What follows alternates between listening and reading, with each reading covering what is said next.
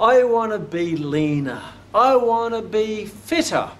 I want to be better. I want to be richer. I want to be happier. I want to be wealthier. Be. Everyone wants to be. Why aren't they? Fantastic question. The secret is in the word be. Be before you are, and you will become. And one of the main challenges that people have is they want to be without being. Don't want to be, because if you want to be, you get more want to be. So if you wish for more want of money, you get the more want of money. You never get the amount of money that will make you happy. So rather than want to be happy, just be happy. Rather than want to be rich, be rich. Rather than want to be leaner, be lean. In the mind first, and the body will follow. One thing you cannot outperform your own self image. You have to believe in here first before this will take action. So, at the moment, many people are always aiming for something. They want to be fitter, leaner, healthier, happier, richer. So they want to head, let's say, let's call it north. Right? That's where you want to be. And this is where you are. And you are currently heading south. South is the opposite to north, as you may guess. So north is being fitter, south is being unfitter, if there's such a word. Leaner, fatter. Richer, poorer. Happier, not so happy. So, if you find that yourself, you are heading south and you want to head north, well, the first thing you have to do, as we all know, is you have to set a goal of what you want. And the goal might be I want to be a lean, mean fighting machine. I want to be wealthy. I want to be happy. So that's the first goal. I want to be. So rather than saying I want to be, say I am rich. I am happy. I am fit. I am lean. I am energetic. And if you say that to yourself, you're working on your self belief through affirmation, through self talk. And eventually you actually start to believe it, and therefore you start to live that way. See, one of the challenges people have is when they put, lose the weight, they put the weight back on. And one of the reasons for that is because they change their body but don't change their mind. They follow a diet. Now, following a diet or someone else's diet is very self uh, disempowering. The reason is because you're putting your life destiny in this diet. So you follow this diet, you go through step A, B, C, D, E, F, G, or 1, 2, 3, 4, 5, and you eat this and that day and that on that day and do this and that day. And if you do that, you will always lose the weight. So what happens is you lose the weight, and you become a thin person, but the challenge is you still have a fat mind with a thin body. And if you have a fat mind, or a lazy mind, or a poor mind, or whatever it might be, the body will soon transform itself to match that of the mind because you cannot outperform your own self esteem or your own self image. That's why so many people, when they, uh, they win lotto, they win all this money and they lose it because what they end up with is, is, a fat bank account, a bank account full of money, but they have a poor mind. So eventually the bank account will match the mind, if your fat cells are empty, but your mind cells are, fat, are, are, full of fat, then your fat cells will start to match the mind. So, what's very important is that not only do you set a goal to lose weight, to get fit, or whatever it might be, that you have to continually work on the mind, the self belief to be before you are and you become. See, if, you, if your goal is to lose weight, you've got a challenge to start with. The reason being is because losing weight is not really a good goal. The reason why I know that is there's many women who lead up to their, say, wedding, and eight weeks out from the wedding, what do they do? They lose weight. And they lose all their weight to look fantastic on their wedding day, to be this beautiful princess in there, in their nice uh, bridal gown, and they look like the beautiful princess walking down the aisle to their man in shining armour or their knight in shining armour, and then they so they look fantastic in their little lingerie on their honeymoon, and they're wow, that's fantastic. Then what happens after they're married? They seem to put the weight back on. So losing weight was not the goal. It was not really the motivation. The motivation was to look magnificent or look beautiful on your wedding day. So first thing when you actually set a goal, make sure it's a goal that is not about losing weight. Because if you set a goal to lose weight, then you go through this process. You wake up in the morning and you know that you should go for a walk or go to the gym or do go for a run or do some exercise. And as soon as you wake up early in the morning, you start thinking to yourself before you get out of bed, Will I or won't I? Will I or won't I? So you go through this little internal debate and you start to go through this little fight and eventually yes I won't because you find all the reasons to stay in bed. Oh it could rain and I might get a sniffle or geez I didn't get much sleep last night or I got a really big day today or I'll start tomorrow. You go through this debate process because losing weight's not a really good motivation. However, if you come across someone who's fit, healthy, energetic, this fit, healthy, energetic person, and that's who they are, when they wake up in the morning, what's the first thing they do? They jump out of bed and they go do fit, healthy, energetic things, which will also lead to losing weight. So you need to think that way, and then your body will follow. If you go on a diet, for example, then you always put the weight back on. And the reason why I know that, because everyone does, because you're disempowering your mind by letting the diet control your mind and you just follow. You don't change your mind. You transform your body, but you don't transform your mind. And eventually your body will go back to match that of the mind or the image that you have of yourself. So if you go on a diet, this is what you see. All of a sudden, you're on this diet and you've got to do this and do that, and you can't do that, you can't do that. Then everything you see is a calorie. You see food, or that's so many calories, or can't have that, that's good food, or that's bad food, or you go through this, this little, ugly little mind game that doesn't lead to happiness. However, if you're a fit, healthy, energetic person, you just tend to eat the fit, healthy, energetic things that those people tend to eat. And sometimes you may have, you know, that muffin or whatever it might be, or that cake, but you don't see that as a bad thing because that's just that's just burnt off in the overall energy of life. And you tend to mostly naturally pick the things which will suit your mind and occasionally pick the things that also suit your mind because you like to have chocolate but you know that you're not going to have that all the time because that doesn't give you a good source of energy or well-being so, what I want you to start to think is okay, set the goal. Whatever that goal might be, it might be, oh, my goal is to be fit and healthy and lean for the rest of my life, where I can fit into my size 10 jeans, I can feel fantastic going out in, on the town or look fantastic in my swimmers, whatever that might be. So think of not just the weight loss, but the benefit of the weight loss and how it's going to make you feel. And the most important thing now is not just set the goal, but think of this who do you have to become to have that life?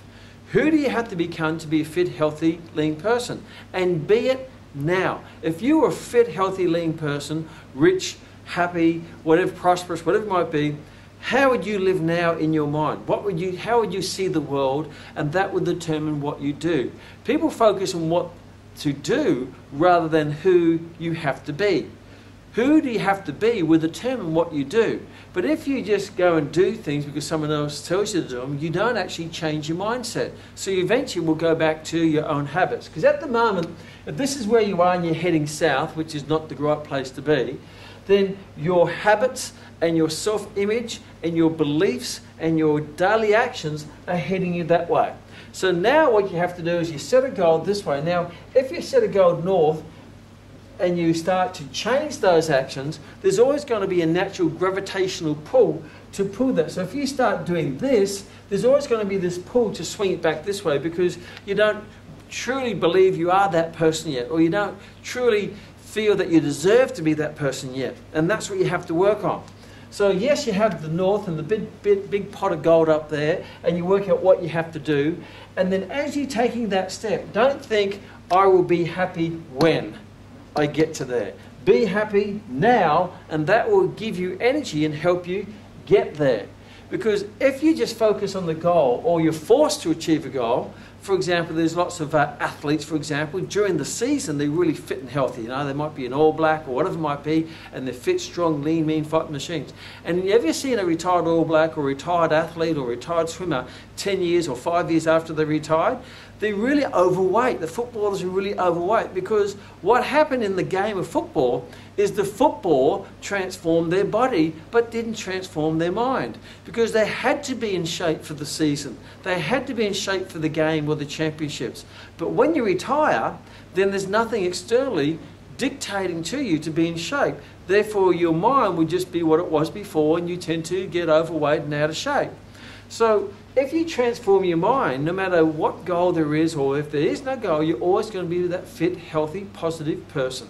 So if you want to be rich, if you want to be rich, then be rich. think rich, start walking rich, start dressing rich, start acting rich, start thinking rich, start create rich habits, start start doing what the rich people do, read their books, hang out where they hang out, dress the way they dress, and that's going to all feed your mind and your belief and your inner compass. So eventually, this compass will eventually get set to the north. You may not be there yet, but what you do is you're working on those belief systems, you're working on those thought patterns, you're working on your self image.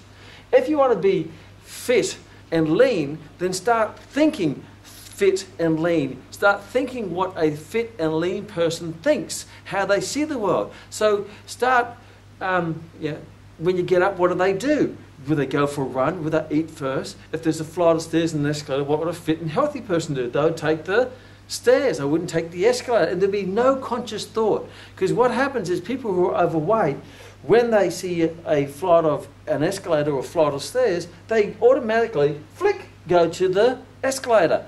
A fit, healthy, energetic person, what are they? They automatically boop, go to the stairs in those little day to day minor choices that you have. If a poor person gets money, they think automatically, flick, what am I going to spend it on? Yeah, rich person will go, flick, where am I going to invest it? If something happens to a negative person and it's not so much a good thing, they will flick, see how bad it is and start whinging about it and how terrible it was and how it's not their fault and start blaming. Where a happy person, a happy, positive person would flick, no matter what happens to them, they always look for the positive in there and what's the lesson they got out of it and what they learnt from it and what they can do from that and how can they use that to propel them into a future success. So you have to, if you want, think of who do you have to become. Now think of what type of goal you want, what type of life you want to live you know, is it a happy life and who your partner's going to be and what you're going to be driving and how healthy you're going to be and what your family life is going to be and what you're going to do for a career and what your business is going to be and, and all those things that make up this, this tapestry of life and think of that's the life I want to live. Now, secondly, so that's setting the goal. And don't just start doing things or asking people what to do. You start researching. Now, who do I have to be? Who do I who do I have to be to deserve that body, to deserve that bank account, to deserve that car, to, to deserve that family, to deserve that partner, to deserve that health. Who do I have to be? And be it now. Now, in your mind. Because if you be it now, you can be happy right now. You're only one thought, you are only one thought away from thinking positive. You're only one meal away from eating healthy. You want, you're only one exercise session away from feeling great. You're only one step from going in the right direction. So don't think it's a big thing because it's not. Because a journey of a thousand miles starts with one step. So just take that one step in the right direction. You're only one, one dollar away from investing into your future. You're only one word from reading a positive personal development book that's going to make you rich and healthy and, and, and wealthy. You're only one word. You just got to pick up that book and read it. You've got to take that step. You have to go for that walk. It's just little steps. But what happens is each step, each step towards your goal will make you have this fantastic sense of achievement. Because frustration seems to happen when you are heading away from your goal. If you're heading away from your goal, you tend to be frustrated and anxious and angry. And it can lead to possibly, hey, hopelessness, which leads to depression. However, no matter where you are, no matter how deep you are in the valley, there's only one step up that will head you up the mountain. No matter how far south you are, there's only one step, you're only one turn. Just if you're going this way south, turn and take one step that way, and I guarantee you, you're going to feel so much better about yourself. And as you walk this way, think, I'm a climber, I'm an explorer heading north, I'm a wealthy person. I may not have the money yet, but I'm getting the thoughts. So people can, you know, because even if you look at rich people, they, they may lose money, but they never lose their confidence. Sometimes a fit person, they may lose health, but they never lose their health up here. So as soon as they overcome that little challenge, that health or injury, they're back on their feet and they're heading north again. They're heading north to the positive place, the healthy place, the lean place, the wealthy place, the happy place, which is here. So step number one, step number one, acknowledge that you're heading in the wrong direction. So you have to start to acknowledge that, hey, I'm going the wrong way. If I keep going this way, I'm going to go down to a dark, dark place, down to the south, down deep into the valleys of doom. Just, yeah, whatever you want to think. So there's the first step. Step number two, decide which way you want to go. You say, okay, where do I want to take my health? Where do I want to take my body? Where do I take my wealth? Where do I take my positivity, my life, my family, my partner? Where do I want to be? This is where I want to go. So then you then you start to think, okay, this is the most important. This is the most important, in my opinion, is who do I have to become to deserve the riches of all this success up here? Who do I have to become to deserve that. And start thinking that and believing that and saying that and walking that. And be very self conscious of your thoughts because really your whole life is lived in the ocean of your thoughts. So you have to protect your thoughts, not let any negative thoughts get in. And if they are in there, push them out. And don't let people around you that feed your mind negative thoughts because they can put the seed of doubt or the seed of frustration or the seed of the lack of belief, all those things. You've got to protect that and make sure that this compass up here, that you are in control of the compass. The world's not in control of your compass. The people around you is not in control of your compass. You are. And then you start take positive actions positive actions towards your goal. And think this any, every time throughout the day, think, is what I'm doing now heading me closer to my goal, which will give you that fantastic sense of achievement and success? Or is what I'm doing now taking me away from my goal? Even if you're doing nothing, that could be taking you away because doing nothing, you're creating the habit of doing nothing. And nothing leads nowhere. So your mind and then start taking those actions and start to self evaluate yourself until you can transform your mind to these steps. This compass is a natural progression because a lot of time when someone in the initial stages they're losing weight and they're heading north and something happens you know they break their diet. Ah break the diet whoop, there it goes back oh bugger I'll start next week. Or they lose a bit of money boom they lose their confidence. Or they they have a, a barney with their partner and things are boom down they go.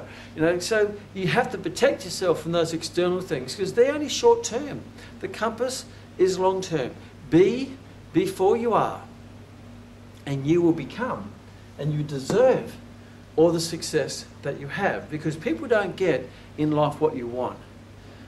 There's a lot of people in the world who want stuff, want money, want wealth, want happiness, they want whatever it might be, longevity, but they're not getting it.